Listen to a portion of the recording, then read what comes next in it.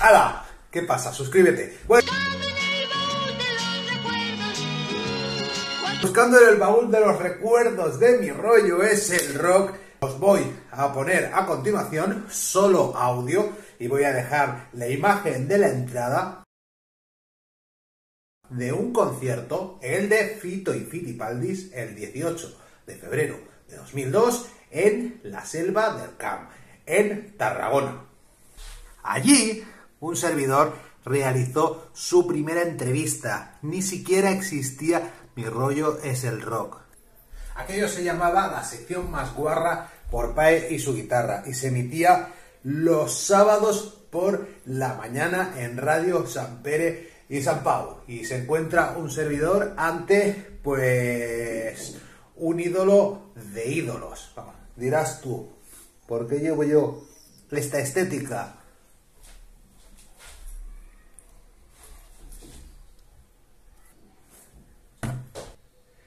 ¿Por qué voy así por la calle? Bueno, pues por el señor Fito Cabrales, quien en esa época eh, había sacado su segundo disco con los Fitibaldis,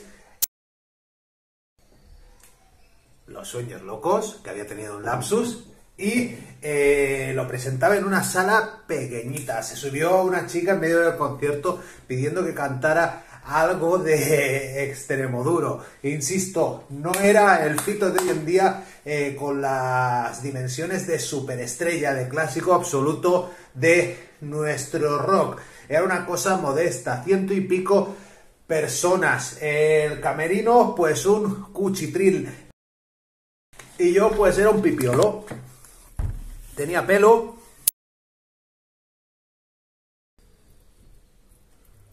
Sal, Coco, sal, sal, eso.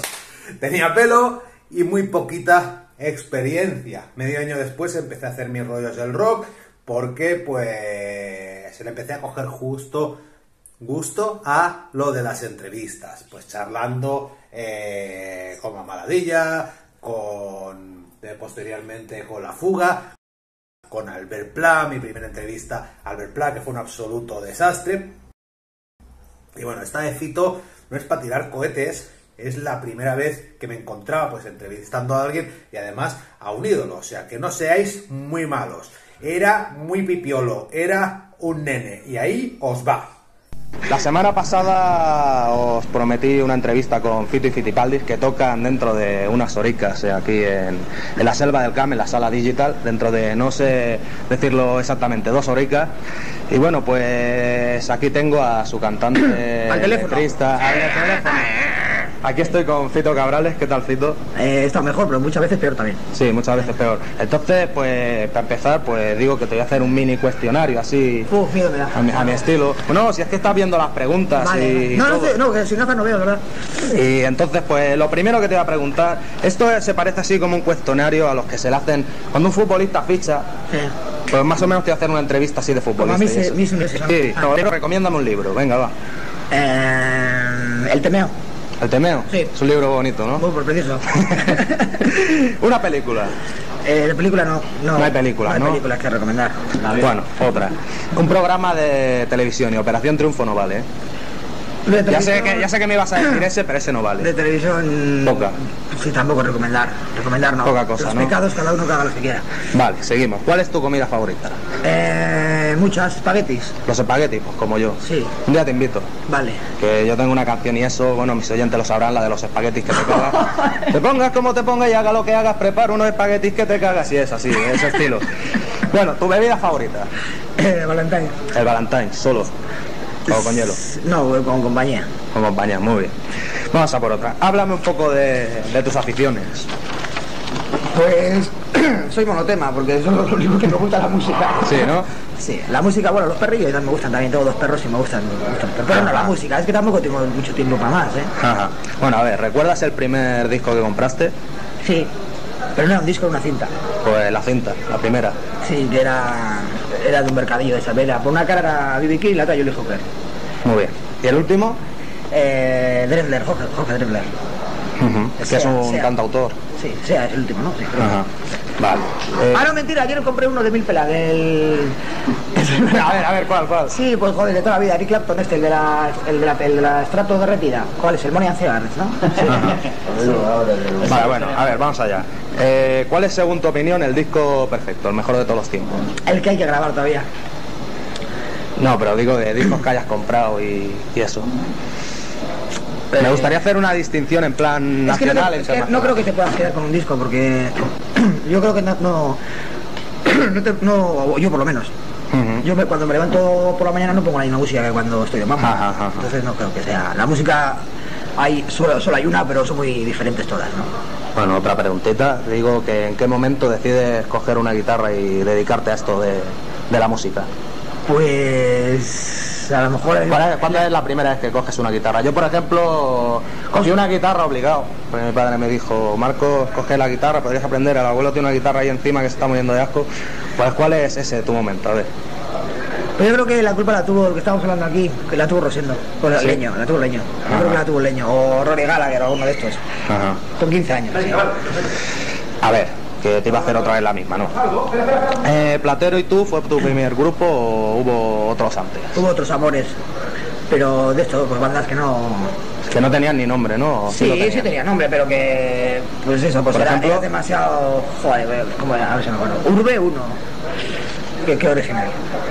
Y otros no me acuerdo. ¿Cómo, se llamaban otros? No sé, porque luego yo tocaba de... A veces, o sea, en ese Urbe yo te cantaba, pero luego otros era solamente guitarrista. Y bueno, es que yo vivía en un pueblito, entonces éramos seis o siete personas que teníamos... Los únicos que tenían en el pueblo. eh, guitarras, eh, Guitarras. guitarras y amplis que tenían que ir a comprar la- las no vendían cuerdas tenías que ir a Bilbao por A ellas ver, va por ella. Y entonces no no es que hubiese una banda es que entre los seis o siete estabas todo el rato pues yo hacía contigo y contigo una pero te enfadabas entonces te ibas tú con el otro no sé qué y tal era lo típico del pueblo no Ajá. Bueno, cuéntame algo de los inicios de Platero. ¿Cómo, cómo se forma Platero y tú? la digo pues como todas las bandas se forman pues se forman pues hay El, gente, el año y- no pues hay gente que le gusta ir a pescar y otros que le gusta ir a tocar ir a tocar la guitarra. Ajá. Y entonces, pues, pues chavales que cuando tienen rato libre se van a, a, a una lonja a ensayar y, y muy cabezones, muy cabezones, dejan el trabajo, dicen Y que, se dedican a la música, ¿no? que, que hay que tocar por todos lados y, y hasta ahora. Bueno, hablemos de, de tus influencias. ¿Qué grupos son los que más te han marcado musicalmente? Pues no lo sé, la verdad que no lo sé. Quizá Leño, ¿no? Es que, no, te quiero decir, para mí el grupo más importante es Leño. Lo que no sé si eso se puede reflejar en mi música, eso no, lo sé, eso no lo sé, pero lo que decía, si yo creo que la- si, si alguien tiene la culpa de que me guste las guitarritas y eso, pues sí sería de Leño, seguro que sí. Bueno, decir que la última vez que vi a City Fitipaldis también fue aquí, en, en la selva del Camp, en un cartel compartido con Extremoduro hace unos tres años y bueno, presentabais a puerta cerrada y recuerdo que tocasteis una versión incluida en, en el disco a puerta cerrada, la versión de Leño mientras tanto y bueno, ¿La tocamos posterior- ya? ¿Aquella ¿Eh? vez? ¿La tocamos esa Sí, vez? sí que la tocasteis, sí. Aparte yo estaba por abajo, tomorado, alguna de leño, alguna de leño y eso. Y digo, igual, igual me hicisteis caso, no sé. bueno, pues entonces, pues posteriormente ha sido incluida en los sueños ro- en los sueños locos, ¿no? Contando con la colaboración de, de Rosendo a la voz y a la guitarra, que aparte que se nota bastante. No sé, cuando escuchas mucho Rosendo parece que sepas dónde, dónde está. Cuando colabora en un grupo, por ejemplo, a mí me pasa en un Hombre, disco de en ese sí, Correcto- porque además solo lo cantáis. o sea, no, no, ¿está pero cuando suena su guitarra, Ah, se nota, guitarra, se nota, sí, se claro, nota, es que se claro, nota, claro. es que se nota. Claro que sí. Entonces, bueno, me gustaría que hablaras un poco de esta canción y de la colaboración, colaboración que, que hace Rosendo en, en este tema. Bueno, la canción, el- yo elijo la canción para, para hacer una versión, yo imagino que como eligen todos los músicos cuando hacen una versión, que no es, o sea, realmente no es la canción más famosa de Leño, no es Vaya de Vir, Castigo, El Tren, no, es- no son canciones... Ajá. Pero para mí sí que es la canción más importante de Leño, o de la más importante, ¿no? Porque hay muchas importantes, pero pues no sé por qué, pero yo la relaciono con algo de mi de cuando era chaval y, entonces pues, las versiones se hacen a canciones que tienen mucho cariño, ¿no? Ajá. Y ya le, ya le avisé hace tres años así a Rosendo, que, que estábamos en un bolo, no me acuerdo dónde, y me fui a su camerino y le dije, me haciendo esto, tal. Y cuando lo grabe te voy a llamar, ¿eh? Y me miró así, no sé qué le dijo, de qué rumbero, no sé qué dijo. Y, y nada, pues él siempre sabía que era una broma, pero al de tres años le llamé y le dije, ¿te acuerdas de eso? Pues está tocado, está tocado. Bueno, pues y si te parece, y le tocó y, y se fue a hacerlo. si te parece la, la escuchamos un poquito y luego seguimos. Bueno, decir que Rosendo colaboró con, colaboró con Platero y Tue, muy deficiente, cantando Sin Solución, y que posteriormente se le hizo un homenaje en Hay Poco Rock and Roll con el tema Si la tocas otra vez. Sí. Eh, bueno, recuerdo también que hace unos años interpretó en unos premios musicales, me acuerdo, que lo grabé y luego lo perdí, Maneras. Maneras de vivir. Bueno, dicho esto, pues necesito solventar una duda que me ha atormentado durante años. ¿Que te que es- corroe? Sí, que me corroe. ¿Por qué Platero y tú no estuvieron en el homenaje a Rosendo agradecidos? Pues la verdad que a mí me parece, o sea, los grupos lo hicieron con todo el cariño, ¿no? Ajá. Pero yo creo que la idea fue un montaje. Fue montaje. No venía a ¿Qué cuento. sentido? No sé, no venía a cuenta. A mí me pareció que no venía a cuenta. Ni le vi a Rosendo demasiado ilusionado, ni, ni- y como ya habíamos hecho... Es que lo de los homenajes cuando toca hacerlos es que tampoco Yo creo que... No sé, que me gusta más el dedicar una canción porque lo haces de corazón que no. Oye, hay que hacer un disco para Rosendo, no sé qué. Entonces me pareció... No me pareció oportuno, no sé. Ajá. Simplemente, o sea, de- no quiero decir, las bandas lo hicieron con todo el cariño y... Sí, pero fue Pero igual que yo no... Lo vi un poco forzado, un poco forzado.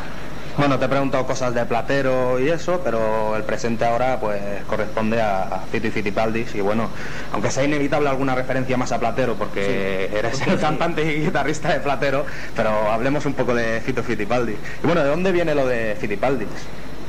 ¿Cómo, Pues, ¿cómo se os ocurrió? O- ¿El nombre dices? ¿El Sí. nombre? Pues ¿Porque el nombre- sonaba bien o...? No, lo puso Pola, Pola con el manager que antes tocaba la batería, que era la batería de Flying Sí.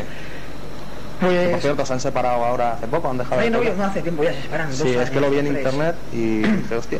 Pero simplemente era cuando íbamos a tocar los Fittipaldis, yo lo que no quería poner a que pusiera de bar, eh, toca Fito, ya te. Entonces, pues ahí dijo, Fittipaldis es como Fito, pero, pero no se entera nadie. Que, Hombre, la verdad tiene bastante musicalidad, o sea, se te Eso. queda Fito Fitipaldi. Y entonces pues poníamos Fittipaldis. Ajá. Poníamos Fittipaldis. Y luego aparte que a mí también me gusta, o sea, yo aunque voy en solitario no me, me gusta sentir que hay una banda, o sea, no me nosotros nunca decimos viene a tocar Fito, viene a tocar los. Fittipaldi, ajá. Bueno, eh, quiero que me hables un poco ori- del origen de, de Fito y. ¿Por qué decides desmarcarte temporalmente de Platero y fundar Fito y? Pues Según se dice en A Puerta Cerrada, eran canciones que nunca pensaste en... sí, o sea, eran canciones que tocábamos en bares y, y era pasarlo bien, tocar, como imagino que tiene que ser la música, no tienes que hacerlo porque lo pasas bien y luego lo que lo que venga, pues bienvenido sea. Ajá. pero simplemente era eso, era yo eh, estaba sin Platero y tú estábamos en un descanso, no teníamos gira Después de siete fue... Sí. Sí. y me junté con cierta gente para hacer canciones, bueno, que estaban hechas las canciones para tocarlas y, y nada, mira, empezó la pelotita redonda y se hizo más grande. Bueno, esto ya, contestaba más o menos la siguiente pregunta, que era que cuando acabas de componer una canción, ¿cómo decides cuál va para, para Platero o para Fito y Fittipaldi? Digamos que son más... No, es que de verdad que no, yo no me pongo a componer y digo voy a hacer una para Platero, yo no puedo, O sea, como te sale, te sale, ¿no? yo creo que es la canción la que decide quién la va a tocar, no yo. Nos, me gustaría que me hablaras ahora de los músicos que te acompañan en directo, de su trayectoria anterior a Fito y Vale. Fittipaldi y esto. Bueno, pues Batis está conmigo desde el primer disco, que Batis es pues en Euskadi pues es una, una institución no porque es de los de los guitarristas más conocidos que hay allí porque ha tocado en 100.000 bandas luego está eh, Ricardo Cantera a la batería que es el hermano de El hermano Cantera, de, de de Extremoduro. Sí, pues Después te preguntaré un poquillo de Extremoduro, si no, Vale. si no te importa.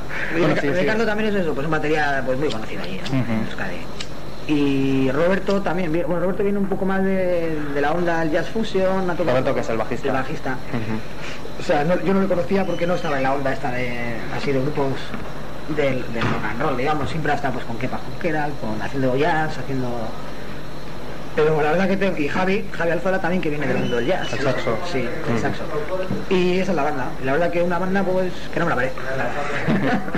Bueno, eh, hablemos un poco de Los Sueños Locos, decir que el disco contiene 10 temas, entre ellos el que, el que ahora escucharemos, a la luna se le ve el ombligo y que me gustaría que me explicaras un poco de qué va.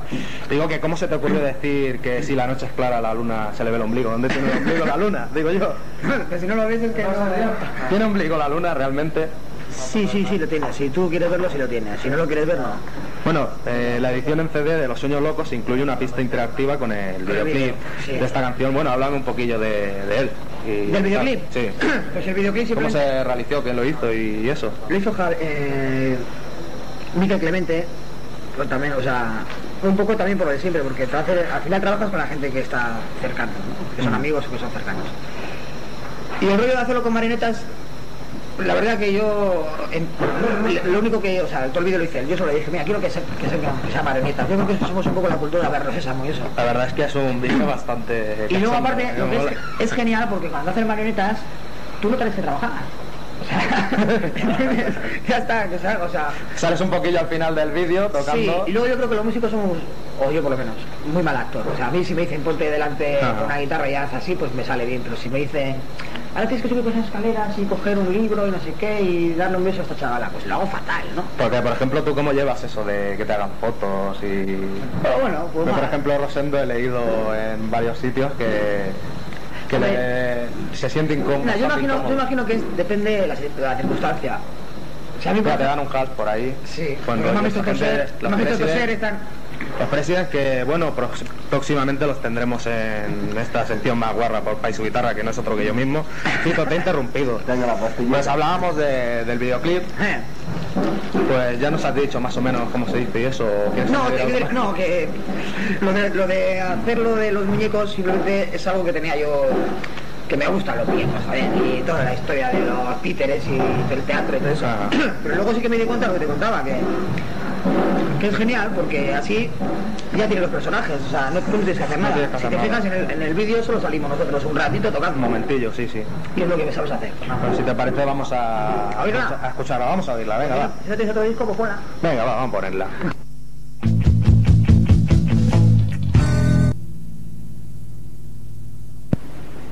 Bueno, seguimos, hemos escuchado a, a la luna, se le ve el ombligo, estamos aquí de cachondeo y eso. Va, va. Y bueno, hace un rato escuchábamos la versión de Leño y mientras tanto, y bueno, en Los Sueños Locos hay otra versión, la del tema adaptado al castellano por Flaco Jiménez, para toda la vida.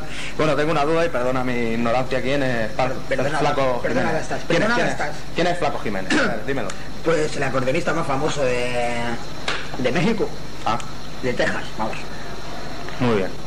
Ya Sí, poco más que añadir Bueno, pues ha tocado con los Rolling, con Ray Cooder, con San Pedro Bendito, conmigo no, porque estaba en China, pero si no, Sí. también. No, porque no llamaste. No, sí, le llamé, pero que estaba, te juro que estaba en Asia, no dónde, coño. Bueno, eh, digo que cómo surge la colaboración de Carlos Tarque para este tema, para, para toda la vida. Pues Carlos es, es una casualidad. Carlos estábamos en el estudio grabando y llamó, somos amigos, y llamó que hasta- había tocado no sé dónde, por ahí de la lado. Y nos fue a hacer una visita y estaba grabando yo la canción. Y entonces pues le metimos ahí a la pecera, aprovechándonos de, de la amistad. Ajá. Pues fue casualidad que fue a hacernos una visitilla. Bueno, con- coméntame ahora otra cancioncilla de, de este de Los Sueños Locos, Perro Viejo. Me gustaría que... ¿A quién te refieres cuando dices Perro Viejo? ¿A qué te refieres, mejor dicho? Bueno, pues yo creo que la letra es simplemente es como últimamente hago siempre hablo de mí.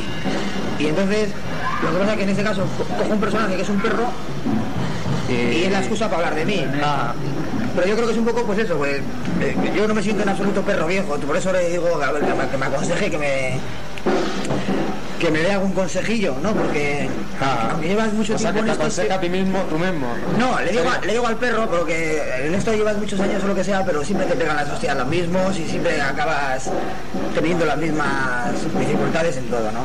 Bueno, a ver, decir que en Los Sueños Locos hay dos temas instrumentales, Sevilla de Bilbao, no del Bilbao como he puesto aquí, no, de No, Bilbao. de Bilbao. Eres del Bilbao, por cierto. Sí. Muy bien, pues seguimos, bueno, en que se hace un acercamiento al flamenco. Que bueno, viniendo de donde vengo yo, que yo las nociones que tengo de guitarra pues son flamencas, pues la verdad me ha, me ha sorprendido y me ha gustado bastante esta canción, ¿no? Bueno, está también el Blues Alegría, que cierra junto a otro blues a mil kilómetros el disco, ¿no? Y bueno, entonces, ¿qué me, ¿qué me puedes decir acerca de esos tres temas? Pues sería, no sé, yo imagino que a lo mejor hace cinco años no me hubiese atrevido a hacer instrumentales, pero ahora como ya me da un poco igual todo lo que... Hombre, igual te- porque tenías más libertad para, como componías en casa de Iñaki, yo soy más libertad de tiempo, ¿no? No, porque las canciones cuando vas al estudio ya están hechas, ¿no? Pero te quiero decir que a lo mejor si hace cinco años hago Sevilla Bilbao, le hubiese, le hubiese buscado una letra, una melodía para cantar. Y ahora simplemente pues la escuchaba y pues, yo pensaba que ya está, que lo que yo quería decir era eso. Entonces, sí, luego te dice la gente, ¿cuántas veces con instrumentales de cinco minutos y tal? Bueno, No, pues la verdad es que molan bastante. sí, pues eh, además Para quien quiera estudiar, Para No. estudiar las canciones instrumentales dicen que, que van bien y eso, ¿no?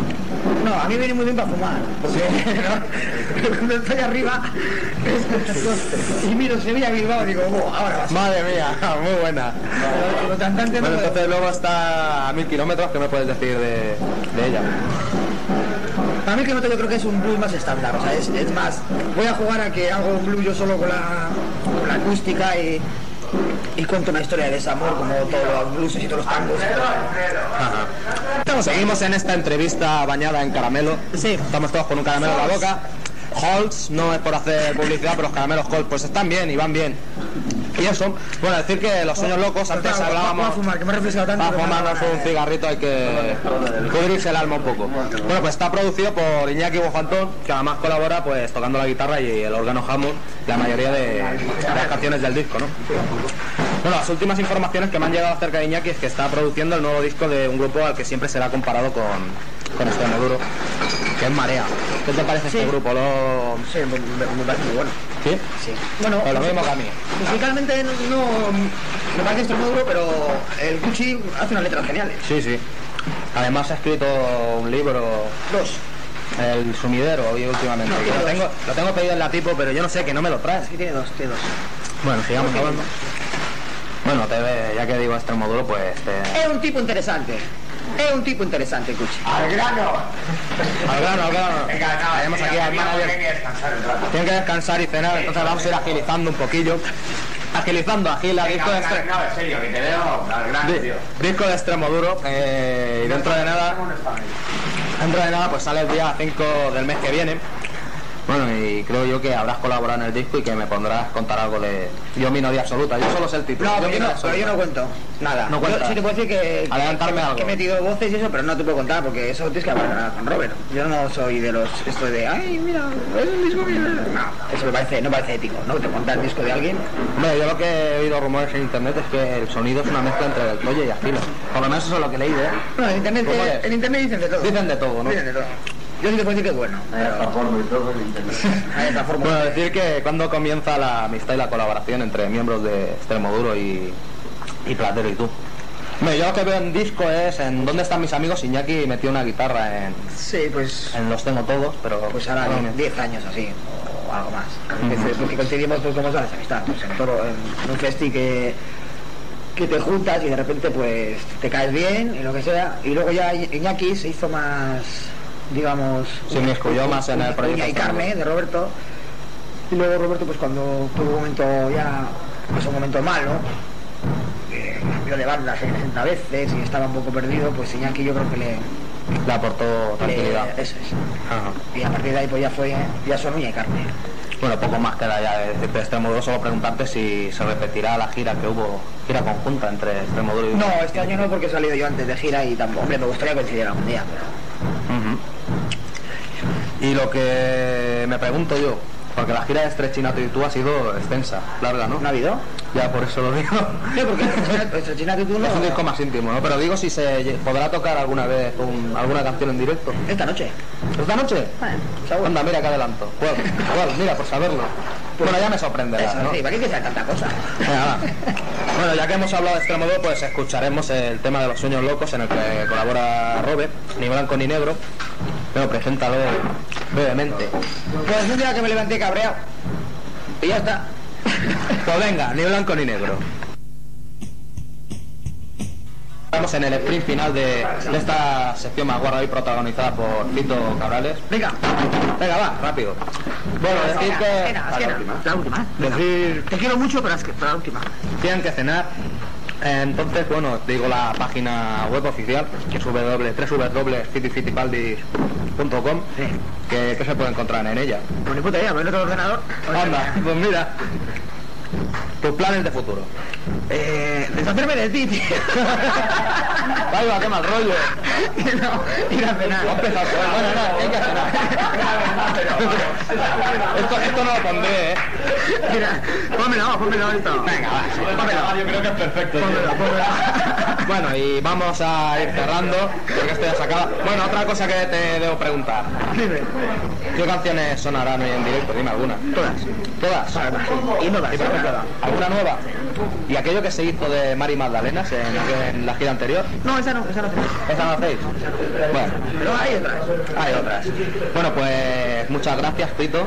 Es un placer y un honor. Y un honor, ¿eh? Y me dado mucha alegría porque digo yo, joder, un músico que llevo escuchando yo la hostia de años, pues tenerlo aquí en Radio San Pedro y San Pau, una radio de barrio, pues de puta madre, tío. Yo también, sí, estamos escuchando años, años el programa. Sí, ya te lo, ya te lo, ya te lo mandaré.